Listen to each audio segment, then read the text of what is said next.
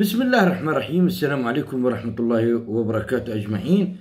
آه اليوم نتناول ال- ال- الطريقة الصحيح لعمل آه الروتين العناية بالبشرة. طبعا ال- ال- ال- السيدات اللالات ال- ال- ال- بناتنا بي- بي- بي- بيعملن آه روتين للبشرة آه، بفكر انه إنه يظن بأن الروتين البشرة آه، عبارة عن وضع كذا وضع كذا وضع لا هناك أساسيات في أساسيات في أشياء أساسية في خطوات آه، تنصح فيها دور التجميل اللي بيشتغلن بالخبيرات التجميل خبراء التجميل في خطوات ينصح ينصحون بها آه، ينصحونك بها لتطبيقها ليكون روتين العناية بالبشرة آه، بشرة الوجه والجسم آه، صحيح. آه، من أنواع الروتين التي ينصح التي سنتكلم عنها اليوم هي روتين ال- ال- العناية ببشره بحب بشرة العين بجلد العين. ال- الروتين العناية ببشرة العين لا يتطرق له أحد. اللي بيتكلموا عن الروتين اللي حول العين آه، عددهم قليل جدا. اليوم نتكلم عن الطريقة الصحيحة لعمل روتين العناية ببشرة العين حول آه، العين. وكثير السيدات كثير أخوات آه، بيعمل الروتين للبشرة ما بيعمل الروتين لحول العين. أو بيستخدم الروتين البشرة نفسه بيستخدم إنه لحول العين. أول شيء مطلوب منك لروتين حول العين حوالي العيون أول شيء هو تنظيف البشرة بشكل جيد من آه، وخاصة من ال- ال- المكياج. ما بصير تنامي بالمكياج قطعيا آه، أك- أكبر خطر ممكن تعمليه ببشرتك تترك المكياج للصباح. لا لا تترك المكياج على وجهك حتى الصباح.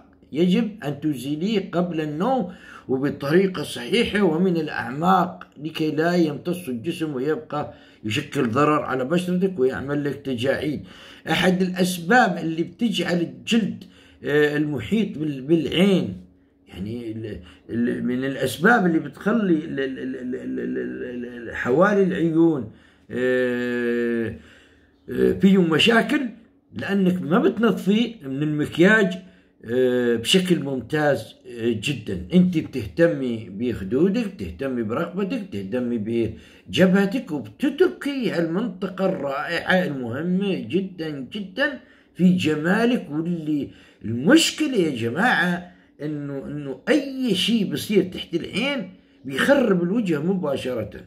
بيخرب الوجه مباشرة. أي تنفخ شديد أي آه، زوال الكولاجين أي تجاعيد أي شيء بينعكس وخصوصا إذا كنت صغير. أنا رجل عمري 60 سنة. أنا أنا عمري 60 سنة. والله آه، آه، يعني أحيانا سبحان أحيانا آه، بتجيني ال- الهمه أحيانا تجيني الهمه بعمل روتين لعيوني. وأنا رجل. والرجال ما بيعملوا روتينات ما هم فاضيين الخرابيط هاي تبع ال- ال- الحريم ورغم ذلك أحيانا والله بعملها فتنظيف البشرة أول خطوة خصك تقومي فيها تنظيف البشرة. واثنين ما تنامي بالمكياج. ثلاثة لازم تعرفي بأنه ال- ال- الروتين العناية حول العين ما مختلف ما له علاقة بروتين ال- الوجه حتى حتى الخلطات حتى الكريمات ما له علاقة ببقية آه، وجهك. زائد يجب أن تفهمي شيء مهم جدا جدا. بأن الجلد اللي تحت العين رقيق وكلما صار رقيق أكثر ها يصيبك هالات سوداء تحت العيون ليش؟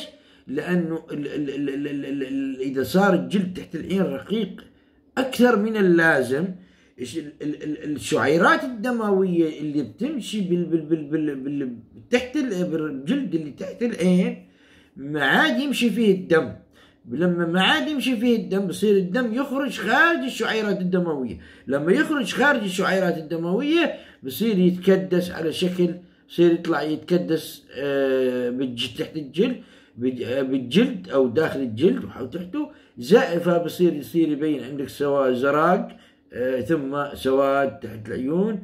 وأنت بتفكري بتفكري إنه السواد تحت العيون بتفكري إنه سببه شمس أو سببه كذا لا أه- أه- أهم سبب للسواد تحت العيون إنه ال- ال- الشعيرات الدموية شعيرات الجلد بصير رقيق الجلد بصير رق- رقيق.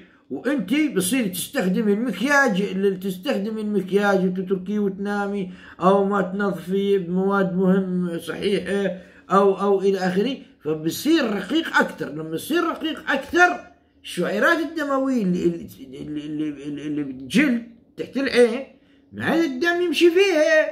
لما ما عاد يمشي فيها. شو بصير؟ الدم وين بيروح بيخرج بينفجر.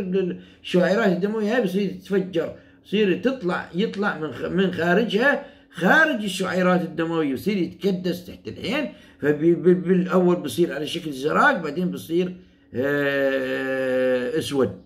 وطبعا كثير في نسوان وعيونهم منفخه وعيونهم كده كده تخوف لك اياه سواد سواد. من شدة ال- ال- ال- ال- الترقق العين من شدة الترقق بظلت بعبص بعينه فرق وتجيب لي مكياجات وتجيب لي مدري خرابيط مدري. مكياج تحت العين يختلف عن مكياج البشرة. العناية حبي حول العين ما لها علاقة يا عباد الله ببروتين العناية بالبشرة. هذا له روتين وهذا له روتين. هذا له روتين هذا له روتين. حتى الأنف له روتين لوحده. ولك حتى الأذان له روتين لوحده. إذا بدك تشتغلي صح. الخطوة الأولى نظفنا. طيب الخطوة الأولى نظفنا. الخطوة في عندك أيضا أعشاب ممكن تنظفي فيها مثل ورق الحبق مثل البابونج مثل الخزامة مثل إكليل الجبل. هذول كلهن ممكن تنظفي فيهن بشرتك مثل الهيل حب الهيل قاقله آه تنظفي فيه. هذول كلهم ورق الريحان وخصوصا ورق الحبق البلدي. ممكن آه، آه، تغليه أو تغليهم واحد منهم وتنظفي فيه البابونج كليل جبل إلى اخر إلى آخره. ملح بسوم أيضا ممكن تمل تنظفي ملح بسوم تخلطي ماء فاتر وتحركيه وتنظفي فيه. في عندك الآن في عندنا الخطوة الثانية. بعد ما نظفتي حول العين الخطوة الثانية هي السيروم. تحت العين ضروري جدا يكون عندك سيروم في سيرومات ماركات high class. في سيرومات. أنت آه، طبيعية. ترى بكثير بنات بيطلعن بيطلعن على يوتيوب بيطلعن هون شو بيقول لك؟ السيروم تحت العين بيخترعن من عنده بيخترعن راح راح أحط لكن أنا وام عبد العزيز إن شاء الله تعالى اليوم اليوم اليوم راح أحط لكن سيرومات ملكية تعمليها بالبيت تحت بشرتك. عشان تحت العيون عشان بشرة تحت العيون. إذا الخطوة الثانية شو بدك تعملي يا بابا؟ بعد ما نظفت البشرة السيروم. ضروري جدا يكون عندك سيروم حتى تموتي يوميا تحطيه تحت العين سيرومات. وتبدلي كل فترة تعملي سيروم. لك السيرومات تقلل جدا جدا ضرر التجاعيد والخطوط والخطوط الدقيقة زائد تساهم بضخ الكولاجين للتخلص من مشكلة.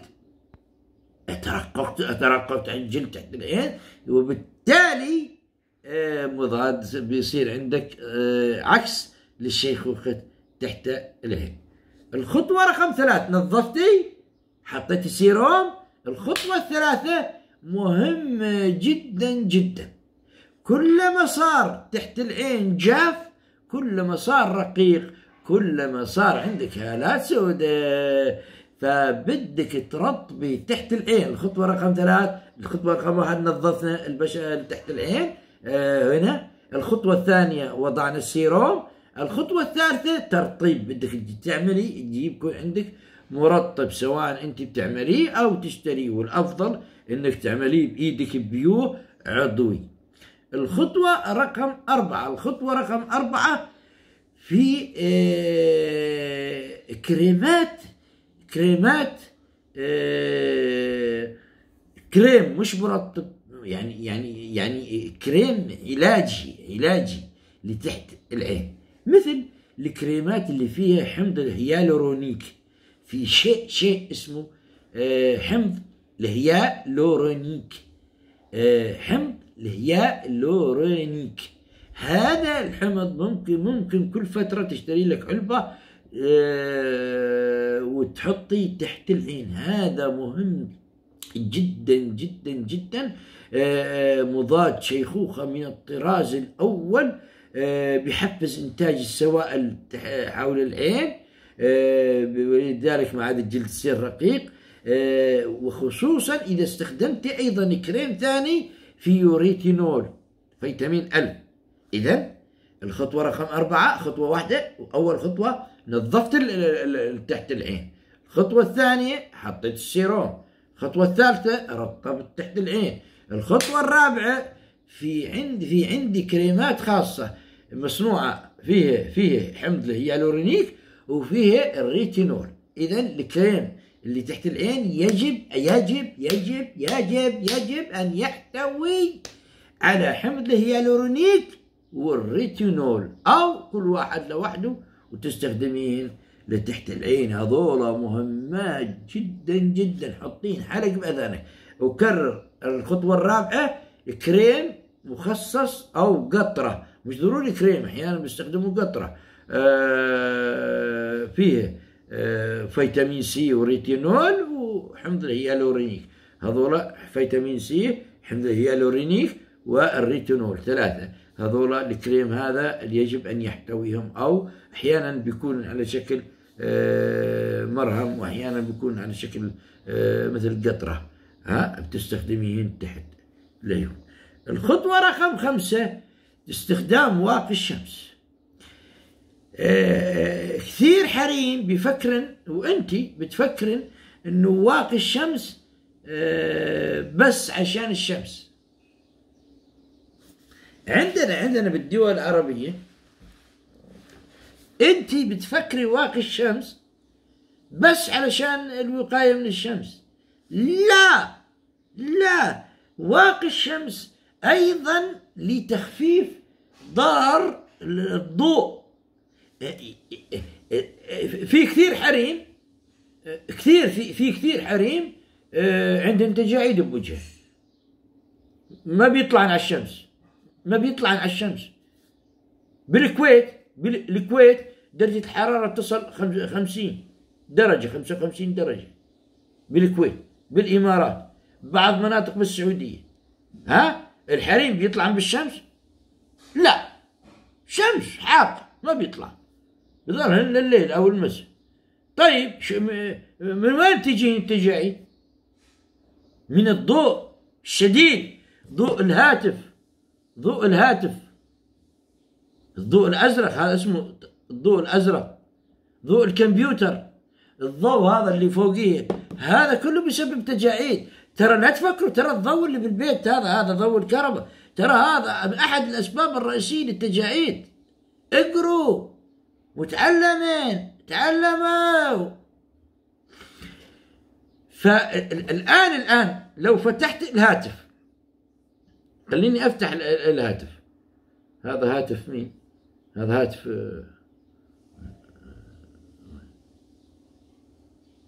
هذا الهاتف. لما تمسك الهاتف اضغط هنا بتلاقي كلمة اسمها تصفية الضوء الأزرق.